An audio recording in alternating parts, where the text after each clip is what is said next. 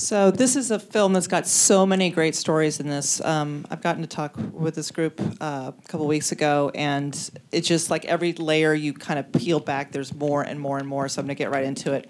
Um, Al, because so when I heard this, I actually couldn't believe the backstory on this. Give the folks kind of a, a sense of where you started on this in terms of like, because you are, you know, it's a fantastic film, which is rare enough for, frankly, for first-time filmmaker. But you are one of the most unlikely filmmakers I've ever met, given what your background is and how you came to it. So why don't you just kind of give people a little background about that? Uh, no worries. Um, I was actually a student of Clark's. Uh, I, I, played drums in Clark's band. Um, in the, there's a scene in the film where we're in the small group with Justin, and, and that that was our group with Clark and. Um, I, would met Clark on a chance meeting and we became really good friends.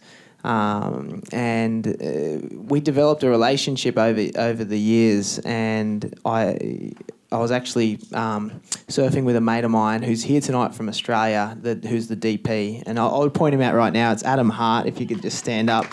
Um, yeah.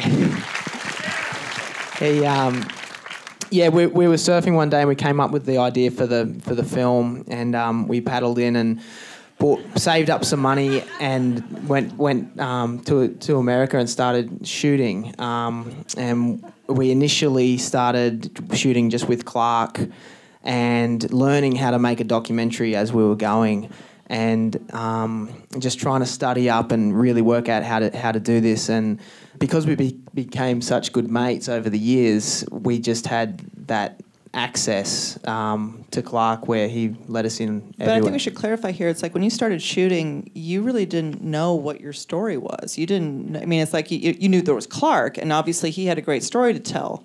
But in terms of like you know, how much did you know about? Like say how deep his relationship went with Quincy Jones, how about how deep about his relationship with Justin. Where were you on all of that? Our first year, we had focused primarily on trying to get Clark's backstory.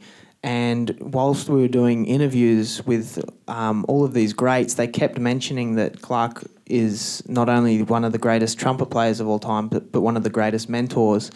And we, it's something that's fleeting when you say it. When if you just say it, he's one of the greatest mentors, but we didn't have the visual to back it up. And and Justin just happened to be studying with Clark all the time. And when we we asked Justin if he'd let us follow him as well, so we could try and bring out this the mentoring side of Clark. And as soon as he agreed.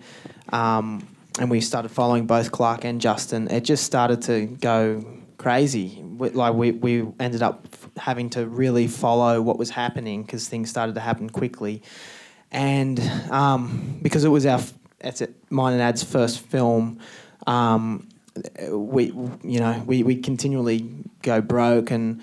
Um, so the way we did it was that we'd shoot for three months and then uh, go broke, and then we'd work for three months, um, doing odd jobs and um, shoot for three months, work for three months, and just and that's that's how we got through primarily most of the the shooting.